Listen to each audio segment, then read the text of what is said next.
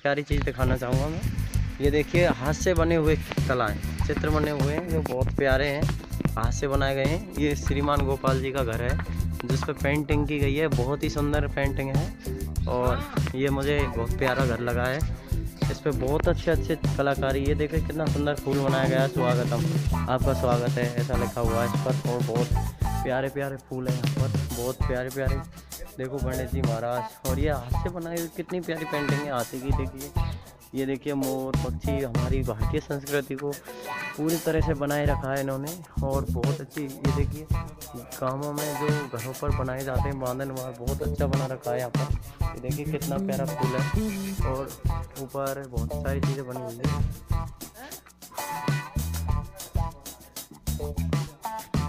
और ये देखिए, ये ये मोगरा का पेड़ है यहाँ पर, जो जिसमें फूल आ रहे हैं। देखिए, गुलाब का है, इसमें गुलाब के फूल आ रहे हैं। और ये अंजीर का पेड़ है, जो बहुत सुंदर लग रहा है देखने में।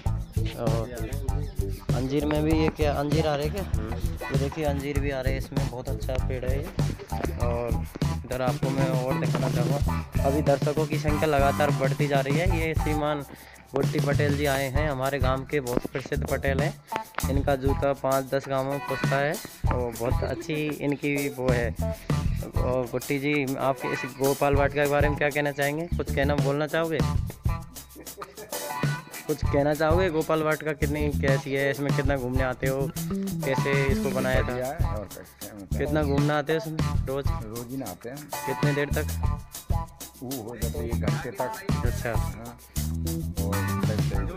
आ जाए दस दस पाँच मिनट से डेली आ जाए अच्छा अच्छा इसमें रोज़ मनोरंजन के लिए आते हैं। आपको आकर बहुत अच्छा लगता होगा यहाँ पर।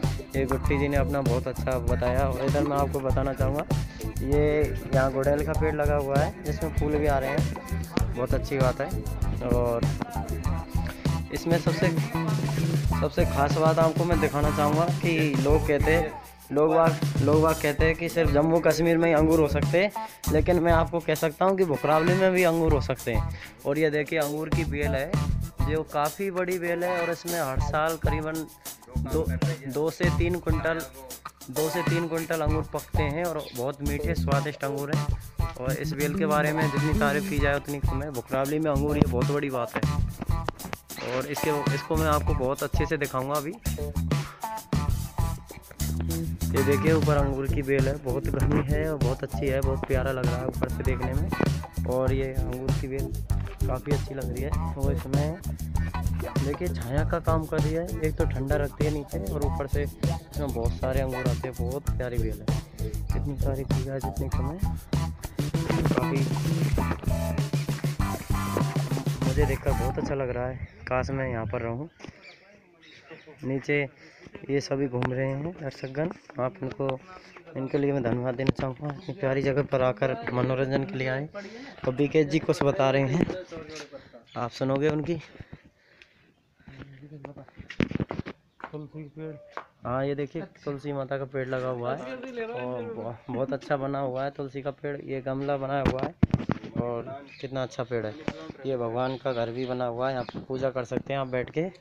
और ये मनी प्लांट लगा हुआ है, बहुत प्यारा फल है, जिस प्रकार से फूल रहा है, कहा जाता है ये जितना बड़ा होता है उतना ही धन बढ़ता है घर में। तो इनके घर जितना बड़ा पेड़ है, इतना ही धन है, बहुत अच्छी बात है ये। और हाँ और आपको हाँ ये देखिए ये रात की रानी का पेड़ लगा हुआ है रात को बहुत अच्छी खुशबू देती है। और इधर आपको मैं दिखाना चाहूँगा एक बादाम का पेड़ भी है यहाँ पर।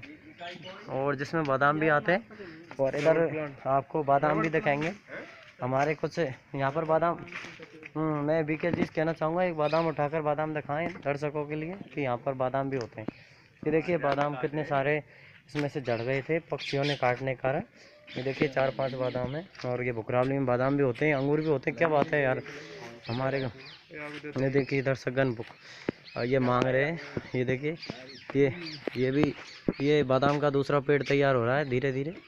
और काफ़ी दिनों, एक दो साल बाद इसमें भी फलाने लग जाएँगे। और यहाँ पर ये मिर्ची भी लगाई हुई है बीच बीच में, केला का भी ये देखिए ये देखिए पूरा कश्मीर है यहाँ पर। ये देखिए, इलायची का पेड़ है और इसमें इलायचियाँ आ भी रही हैं। पत्ता भी खा सकते हो आप। पत्ता डालने से टेस्ट बढ़ता है इसके से।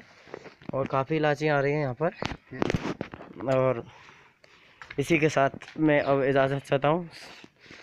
शिव सिंह मीना बुकरावली डीपी के न्यूज़ रिपोर्टर, जय हिंद। यार